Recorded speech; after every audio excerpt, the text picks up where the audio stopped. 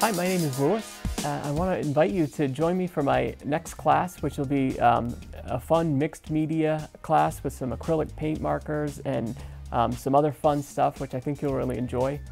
If you're familiar with my work, you may not have seen um, uh, so much color from me that you're going to see in this class, um, but I, I, started to get into acrylic painting and, and, mixed media painting on a large scale, and um, I was really experimenting and I, I learned a lot and I brought what I learned from that back into my drawing.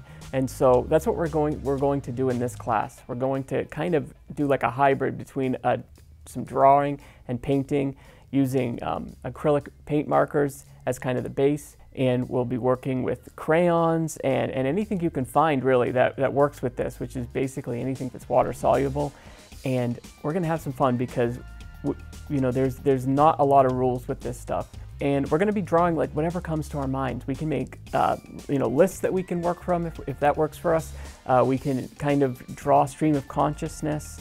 Uh, I used to think of drawing kind of as like this process where you start and you build and then you finish. But I've learned over the last few months really that it's more than that. It's more like an ever evolving thing. So we're going to draw and then maybe we'll tear some things down and then draw up again. And you're gonna see how I work through that with my process. And I'm hoping that it will really connect with your studio process.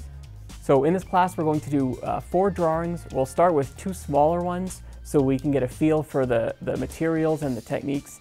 And then we'll end with two larger drawings. We're gonna do one that's um, gridded out and and then one that's the same size, but it'll be more of a chaotic drawing with uh, pieces kind of everywhere.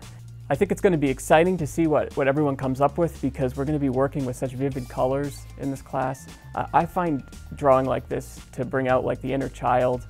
Um, it, it re relieves my stress and I think it can do the same for you. I think you're really going to enjoy this process and the community that we form and I hope that you can join me for this class.